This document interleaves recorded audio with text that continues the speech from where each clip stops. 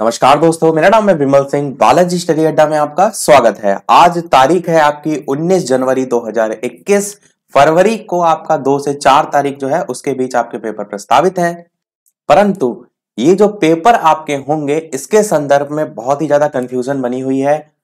बहुत लोगों का अलग अलग तरीके से कमेंट आ रहा है कि कौन लोग पेपर दे सकते हैं, कौन छात्र एक में बैक है, दो बैक है, इस टाइप से अलग अलग कमेंट है। तो आज के वीडियो में हम यही देखेंगे कि कौन कौन सा बैच शामिल होगा किसकी बैग थी वो दे सकता है कौन नहीं दे सकता है सबकी बात। तो सबसे पहले मैं आपको एक नोटिफिकेशन दिखाता हूँ जो कल ही जारी हुआ था 18 तारीख को और ये नोटिफिकेशन जारी किया गया था कहाँ से? कौसाम्बी और सभी जो भी डाइट थी सभी वहाँ के निजी संस्थान थे उनके लिए था।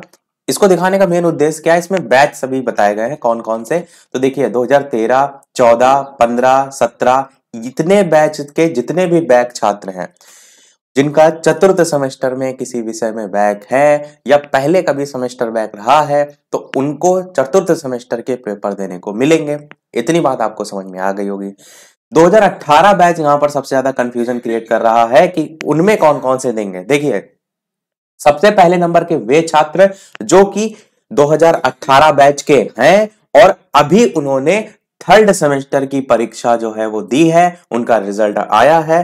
तो वो जितने भी छात्र पास कर चुके हैं थर्ड सेमेस्टर, वो इस चतुर्थ सेमेस्टर की परीक्षा देंगे। पहली बात आपको समझ में आ गए होंगे, अभी थर्ड सेमेस्टर का रिज़ल्ट जो है वो आया था, पास परसेंटेज काफ़ी कम गया था तो जितने भी छात्र पास हुए थे वो सभी देंगे। दूसरे नंबर पर सुनिए।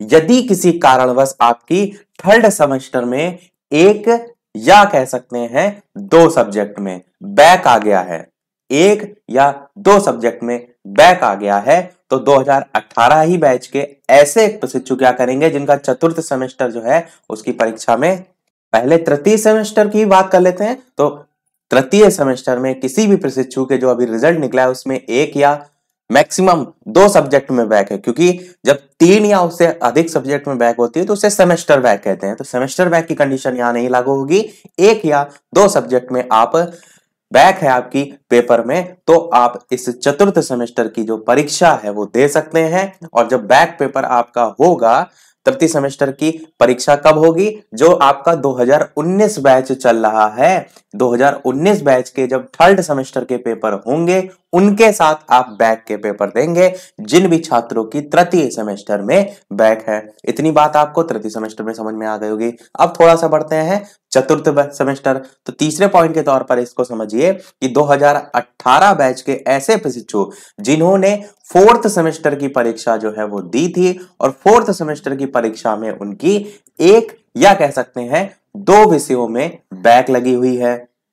तो ऐसे प्रशिक्षु भी इस चतुर्थ सेमेस्टर की जो परीक्षा है उसमें शामिल होंगे इस चीज़ का ज़रूर ध्यान दीजिए कि वो केवल और केवल जिस बैक में, जिस सब्जेक्ट में बैक है, केवल उसी के पेपर देंगे। ऐसा नहीं आप सोचिएगा कि उनको थर्ड सेमेस्टर के भी सभी पेपर देने होंगे और चतुर्थ तो ऐसा बिल्कुल नहीं है, क्योंकि जो चतुर्थ सेमेस्टर के जो छात्र थे, उनका तृतीय सेमेस्टर का जो मूल्यांकन है, वो फ़र्स्ट सेमेस्टर और सेकंड सेमेस्टर के अंकों के औसत के आधार पर ऑलरेडी कर दिया गया है। तो अब यदि चतुर्थ सेमेस्टर में वो किसी भी कारणवश उनकी बैक आई है तो उससे उनका तृतीय सेमेस्टर का कोई लेना देना नहीं है।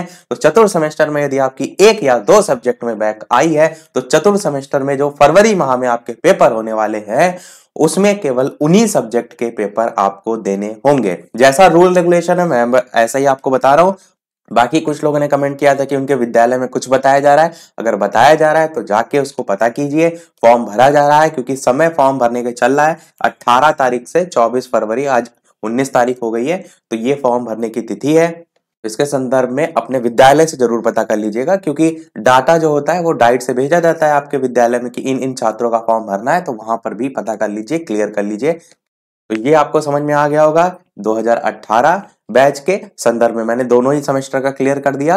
अब जो यहाँ पर 2019 बैच है। देखिए, वो तो चौथे सेमेस्टर के साथ परीक्षा नहीं देगा, पर 2019 बैच के संदर्भ में मैं आपको बता दूँ कि 2019 बैच का सेकंड सेमेस्टर का रिज़ल्ट आएगा। यदि आप एक या दो विषयों में फेल हुए तो आपको द्वितीय सेमेस्टर के साथ साथ प्रथम सेमेस्टर के सभी पेपर देने होंगे, क्योंकि आपका जो 2019 बैच है, उसका जो सेकंड सेमेस्टर है, वो फ़र्स्ट सेमेस्टर के आधार पर प्रमोट किया गया है। ना कि आपका वो नंबर लेके आए तो उनका क्या है? अगर फ़र्स्ट या सेकंड सेमेस्टर में उनका बैग आता है तो फ़र्स्ट यानी जो 2019 बैच है, उसको सेकेंड सेमेस्टर में जिसमें बैक आई होगी, वो तो पेपर देने ही होंगे। साथ ही साथ प्रथम सेमेस्टर जो है, उसके सभी पेपर देने होंगे। ये केवल 2019 बैच की कंडीशन में लागू होगा। 2018 बैच में मैंने पहले ही क्लियर कर दिया है।